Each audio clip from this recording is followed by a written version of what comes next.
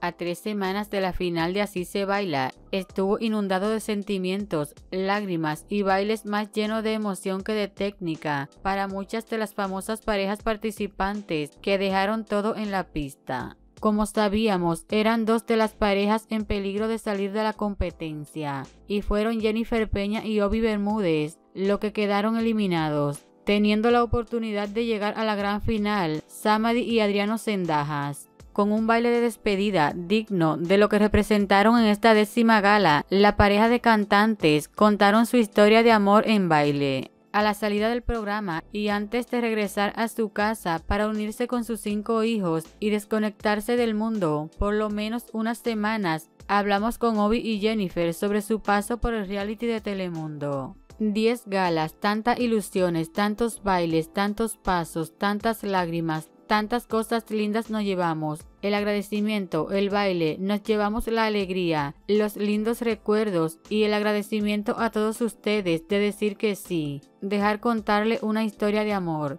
Estamos eternamente agradecidos. Nos llevamos esta experiencia con el corazón para toda la vida, nos dijo en exclusiva Obi. La pareja cada semana después de la gala se iban por la carretera a pasar una hora con sus hijos y regresar a Miami para seguir con los ensayos. Hoy ya regresan para quedarse y eso lo tienen bien claro. Queremos desconectarnos totalmente, pasar por lo menos una semana, un tiempo con los niños, ver películas con ellos, llevarlos al cine, al parque, luego sentarnos para muchos proyectos que estaremos dando a conocer pronto, siguió diciendo Obi. Me quedé con las ganas de bailar una salsa, Jennifer un tango. Antes de despedirse, quisieron tener unas palabras especiales para sus seguidores, el público que votó por ellos, que lo acompañó en esta aventura y que lo hizo sentir que regresar al mundo del entretenimiento fue lo correcto.